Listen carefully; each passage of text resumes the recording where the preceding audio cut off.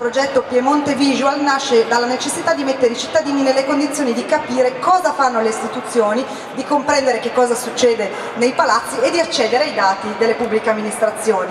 Piemonte Visual ha promosso la realizzazione di infografiche e data visualization su vari ambiti. Con il progetto Piemonte Visual il Consiglio regionale del Piemonte è risultato finalista del premio Smart City di SMAU, evento fieristico dedicato all'informatica e alle nuove tecnologie, tenutosi a Torino il 14 e il 15 maggio. Piemonte Visual è un brand che identifica iniziative volte a divulgare i dati delle pubbliche amministrazioni.